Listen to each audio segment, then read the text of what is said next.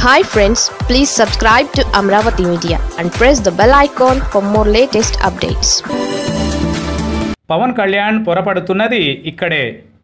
జనసేన అధినేత పవన్ కళ్యాణ్ గతంలో చేసిన తప్పులనే ఇంకా కంటిన్యూ చేస్తున్నారు.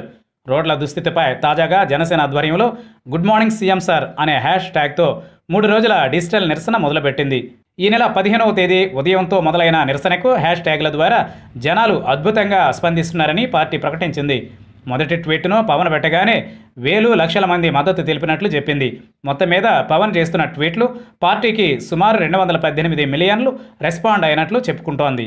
అంతా బాగానే ఉంది. మరి తన నిరసనను పవన్ కేవలం డిజిటల్ ప్లాట్ఫామ్కు మాత్రమే పరిమితం చేయబోతున్నారా అనే చర్చ మొదలైంది.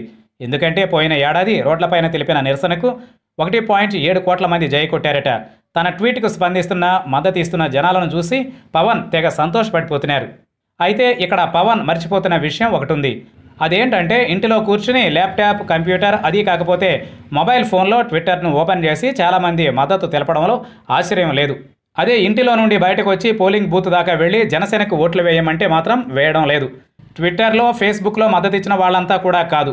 అందులో కనీసం పదో వంతు కూడా పోలింగ్ బూత్ల దగ్గర క్యూ లైన్లలో నిలబడి ఓట్లు ఎందుకు వేయడం లేదు? ఎక్కడొస్తోంది తేడా అన్న విషయాన్ని పవన్ గమనించడం లేదా అనే అనుమానాలు పెరిగిపోతున్నాయి. డిజిటల్ ప్లాట్ఫారాల్లోని పవన్కు మద్దతు తెలుపుతున్న వారిలో అత్యధికులు సినిమా అభిమానులే అన్న విషయం వాస్తవం. ఫేస్బుక్ గ్రూపుల్లో చూస్తే పవన్కు ప్రతి గ్రూపులోనూ లక్ష మంది సభ్యులు ఉంటారు వీళ్ళల్లో చాలామందికి ఓట్లు ఉండవు ఎందుకంటే వీళ్ళంతా పిల్ల పిల్ల కాయలు. వీళ్ళే ఇప్పుడు రోడ్లపైన కూడా ట్వీట్లు లైకులు కొడుతున్నది.